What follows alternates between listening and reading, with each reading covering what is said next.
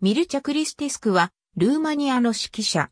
1928年、ブラショブ生まれ。6歳からバイオリンを始める。ブカレスト音楽院に進学して1953年にビオラ科を卒業後、コンスタンティン・シルベストリに指揮法を学ぶ。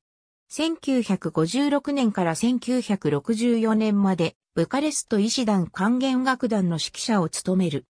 1962年にブカレストのジョルジェ・エネスクフィルハーモニー管弦楽団の指揮者陣に加わり、1966年にはクルジュイコールナポカ、フィルハーモニー管弦楽団のメンバーで室内管弦楽団を結成している。この室内管弦楽団とエレクトレコードレーベルに相当数のレコードを制作しており、その中にはビバルディの四季やモーツァルトのハフナーセレナーデなどが含まれる。ブカレスト音楽院でも指揮法を講じ、マーガンド・ザーカーやダニエル・スポールディングなどを教えている。ブカレストにて死去。